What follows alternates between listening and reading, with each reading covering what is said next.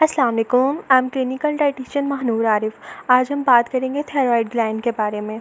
Thyroid gland locate करता है base of the neck और ये एच शेप्ड होता है और इसको हम बटरफ्लाई शेप्ड ग्लैंड भी बोलते हैं।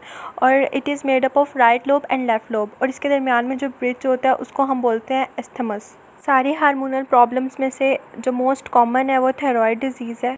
थायराइड को हम थ्री मेजर ग्रुप्स में डिवाइड कर सकते हैं हाइपर थायरॉयडिज़म हाइपोथायरॉयडिज़म क्वाइटर हाइपरथायरॉयडिज्म में बहुत ज़्यादा थायराइड हार्मोन प्रोड्यूस हो रहा होता है, जो कि हमारा मेटाबॉलिज्म को इंक्रीज़ कर देता है और हमारी एनर्जी भी इसमें ज़्यादा कंज्यूम हो रही होती है। और इसका कॉमन कॉज है Graves disease Grave disease immune system disorder है, जो कि ओवर प्रोडक्शन हो रही होती है थायराइड हार्मोन्स की। नेक्स्ट हाइपोथायरॉयडिज्म है, जिसमें बहुत कम थायराइड ग्लैंड्स जो है वो प्रोड्यूस कर रहे होते हैं, थायराइड हार्मोन्स, जिसकी वजह से मेटाबॉलिज्म रेट जो है वो कम हो जाता है।